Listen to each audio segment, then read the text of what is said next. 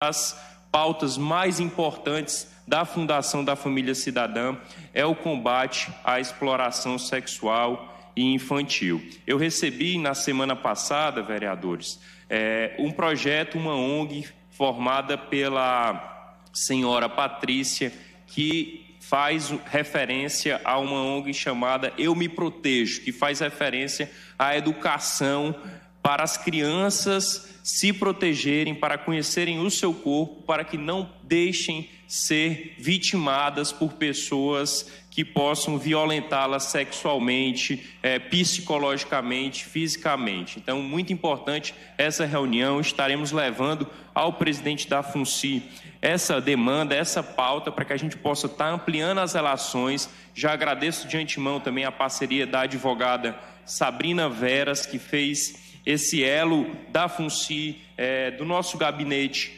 com a ONG Eu Me Protejo, para que a gente possa estar ampliando essa divulgação, seja nos conselhos tutelares, nas escolas, na educação de base aqui do, do município de Fortaleza, para que a gente possa proteger cada vez mais as nossas crianças de abusadores. Muito obrigado, senhor presidente.